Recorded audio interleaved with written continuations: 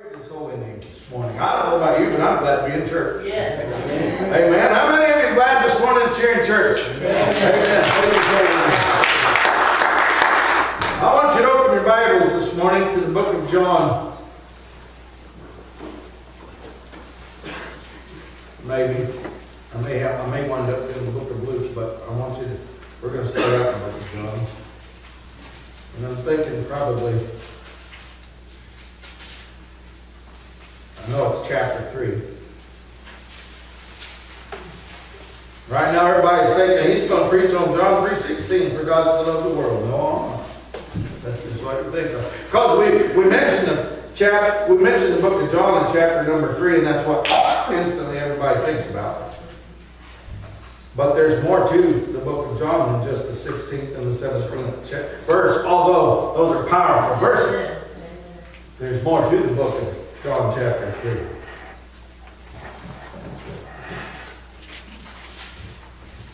I think I'll probably start reading verse 22.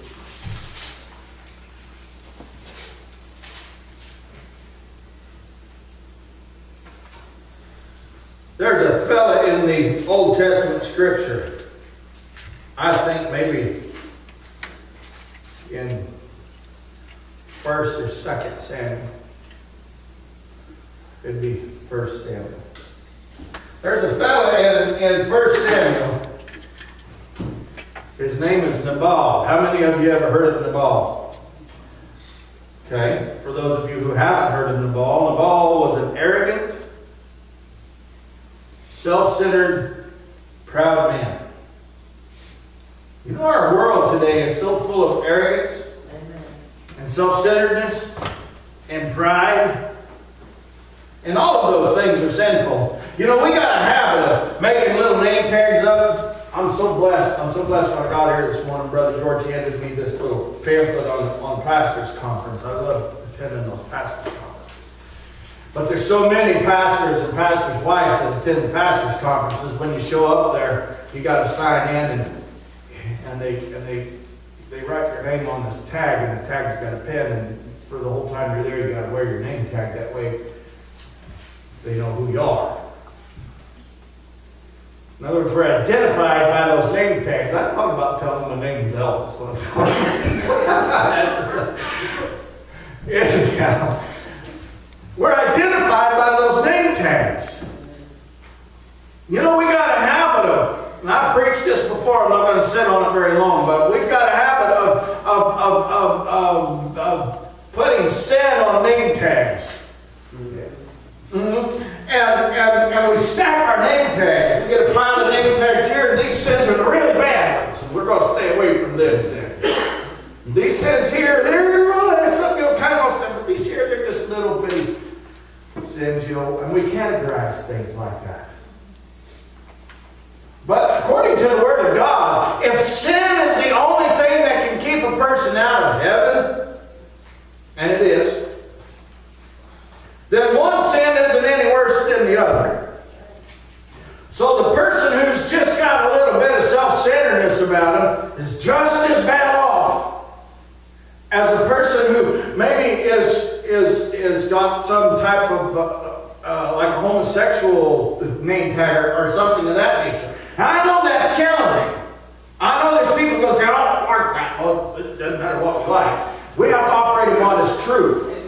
Amen. And outside of Jesus Christ, we're all lost sinners headed for a devil's hell. Inside of Jesus Christ, we're all saved by the grace of God. Amen. So if sin is the only thing that can keep a person out of heaven, I want my sin to be exposed. Amen. And the only way that we can expose sin is by allowing the Word of God to do in our lives what the Word of God is created to do in our lives. That is to show us our depravity as mankind and our need for a Savior. It's all in Him. Nabal was a was a was an egotistical, self-centered, arrogant man. And he was out in the wilderness one day, shearing his sheep. Now he was married to a woman named Abigail. And Nabal and his men were in the wilderness shearing sheep. Now David was the king, and David, David was a good man. David was a good king. David looked after his people. David made sure that while Nabal and Nabal's men were out in the wilderness shearing the sheep, that nobody hurt him. Nobody touched his men.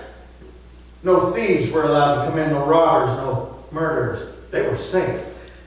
Because if you were if you were protected by David and David's fighting men, you were protected. David had protected these men.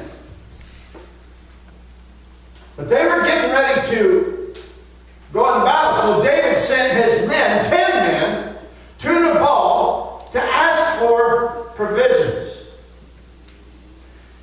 And when they got to Nabal, they said, We come in the name of David. And he is requesting some provisions. Nabal, the loud, arrogant, self centered man that he was, said, Who is this David? I mean, he just he just ripped David's servants to pieces. Give you the long and short of it. He refused them. He sent them packing. Well, another thing about David is if David got mad at you, that was probably the worst person you could ever have mad at you. And so David vowed a vow. he said, I'm going to get my men together. We're going to go down. I'm going to find Nabal, and we're going to destroy him.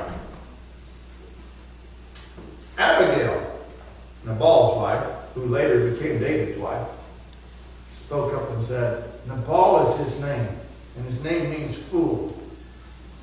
Nabal's acting like a fool. You don't want to do this, David, and bring sin and reproach and harm upon yourself. There's a good message in that. We're not going to answer for the Nabals of this world. Amen. We're only going to answer for ourselves. So oftentimes we get manipulated into reacting off of somebody else's action. Before you know it, everybody's just reacting and there's no more action going on. What we really need to do is just stop and come to understand I'm not going to answer for Nabal,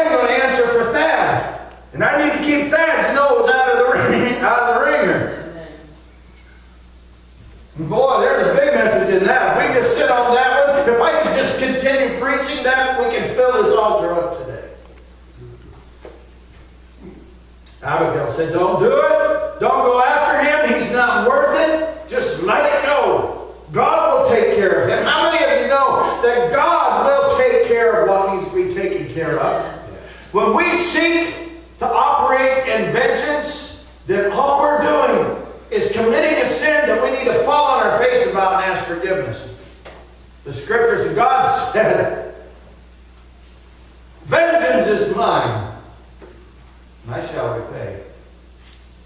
Abigail said, Don't do it, David. I know it's my husband, David, but I'm telling you, he's loud, he's arrogant. His name is Nabal, and Nabal means fool. Don't go after him. It ain't going to matter anyway. So David calmed down and God took care of it. Nabal died. Abigail became David's wife. The rest is history. How many of you know that we live in a self-centered, egotistical, arrogant world. Everything is all about self.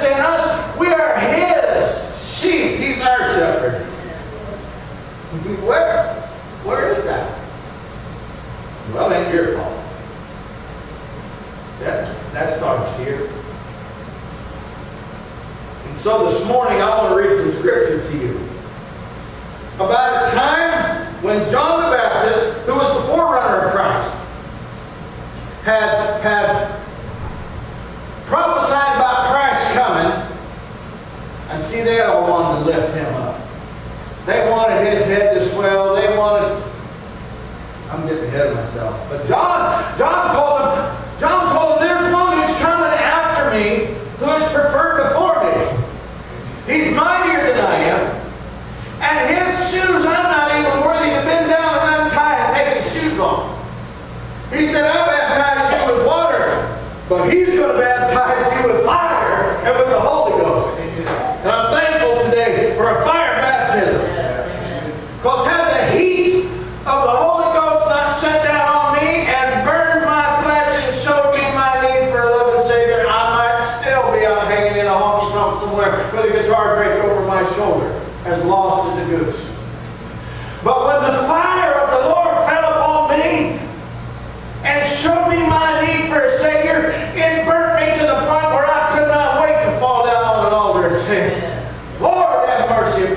save me of my soul. Save me of my sins. And when I got up, the fire that was on me got inside me, and I became a new creature in Christ. And that's not for me only, but that's for every one of you that are in here this morning, who are in Christ Jesus, and Christ Jesus is in you. The scripture says in John chapter 3, verse 22, after these things, came Jesus and his disciples into the land of. And he tarried with them. And he baptized. Now here's Jesus on the scene. He's got his own disciples. They're coming into Judea, and Jesus is baptizing.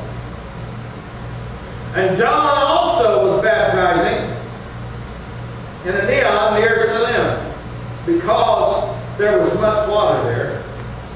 And they came and were baptized. So here we got Jesus, the one that John prophesied about, in the same area. And we got John in the same area, and they're both baptized.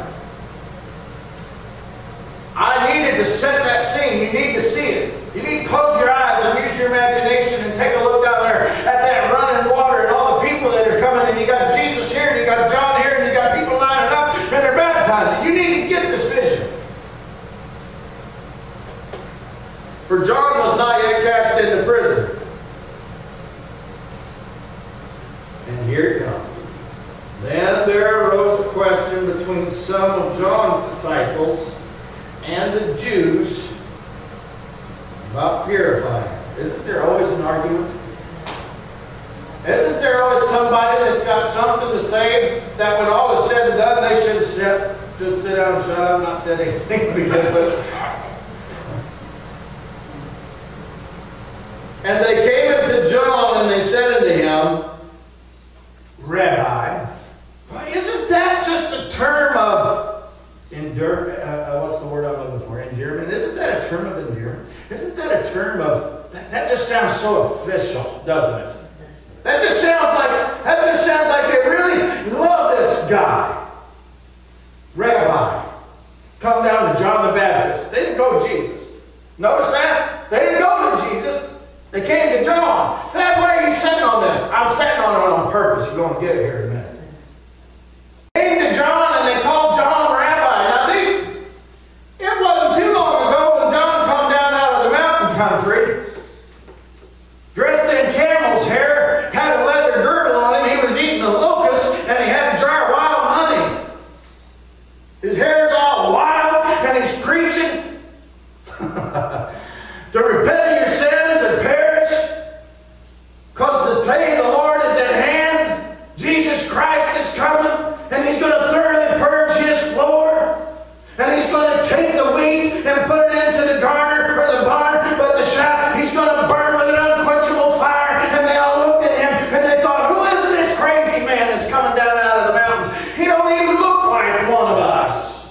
You know, because they were all prim and proper. They had all their nice priestly robes and they had their tassels and their, and their fringes hanging off of it. They had their purple belts on. They had all of that kind of stuff on. They looked the part. This guy come down. You know what? One time I had somebody. I had. I don't normally tell people that I'm a preacher on purpose for a couple reasons. One, if I have to tell you I'm a preacher, I'm probably not very good. Secondly, when you tell somebody that you're a preacher, then they instantly start acting like somebody that they're not. And I like real people. I preach, I believe in a real Jesus Christ. I believe in a real word. I believe in preaching real messages to real people, and I don't want nothing phony or fake. And as soon as I tell somebody that I'm a preacher, well, they're going to, they're just going to be the biggest saint that you've ever seen. So on purpose, I don't tell people that. One day, in conversation, talking to a guy who I had known for a little while now, it came up that I'm a preacher. And he said, You're a preacher? I said, Yeah. He said, Well, I never would have said some of the things I've been. I said, That's why I didn't tell you. He said, Well, you don't look much like a preacher. I said, Well, thank you for the compliment. I don't know what that meant. You know, maybe, maybe he thought I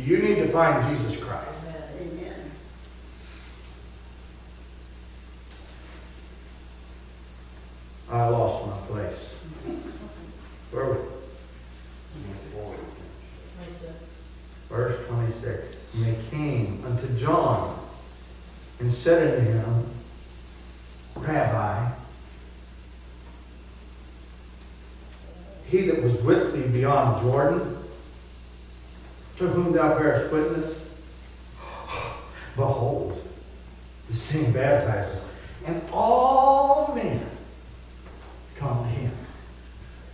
Do you see what was, you see what they were to do there? They were trying to create a division between John and Jesus. They were trying to get John's dander up, so to speak. That's how they'd say it down home.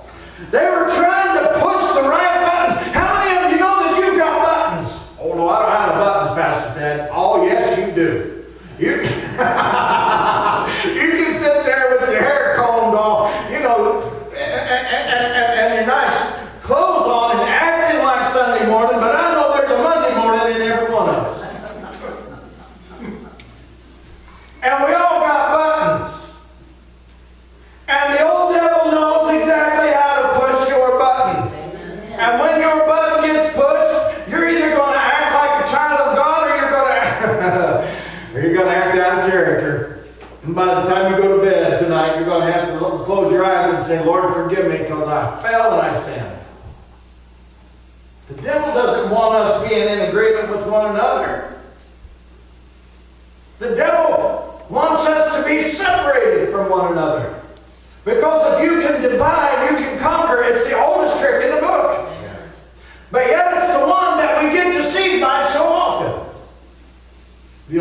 of divide and conquer. They came to John.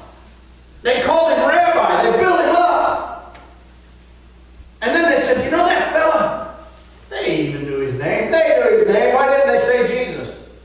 They knew who he was. But they're acting like they're acting like John's the important one here, and Jesus is a is a he's crowding in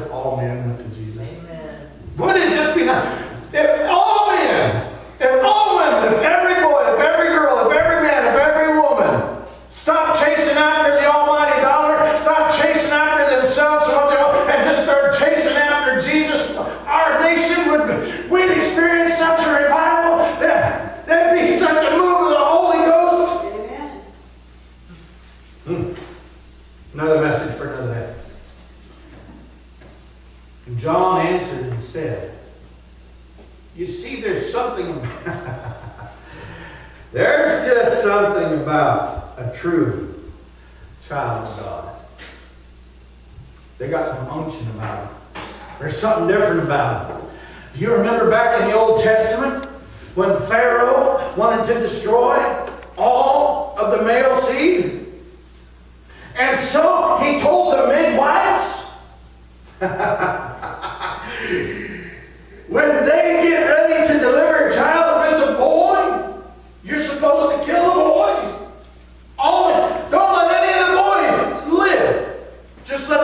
And the reason for that is if you can kill the male, you can kill the seed. If you kill the seed, then the devil could have brought it all to an end.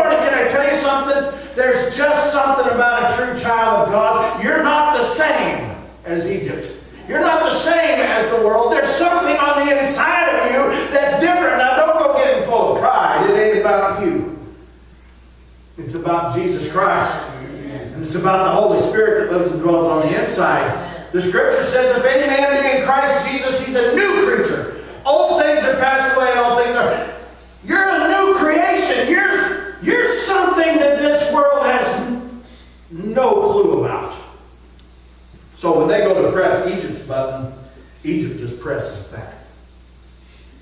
When they go to press a worldly button, the world just presses back. But when you press a child of God's button, there's going to be something on the inside of them that's going to say, yeah! but then the greater is he that is in you than he that is in the world, and it's going to speak.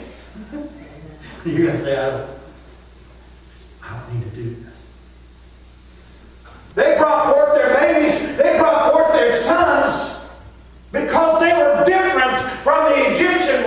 and the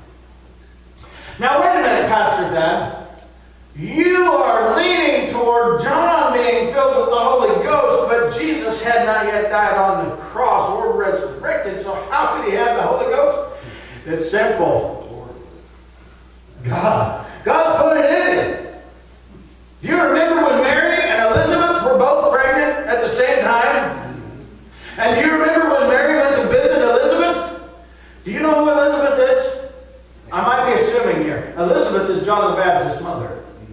So do you remember in the scripture when Mary, the mother of Jesus, came to visit Elizabeth, the mother of John? And when Mary spoke,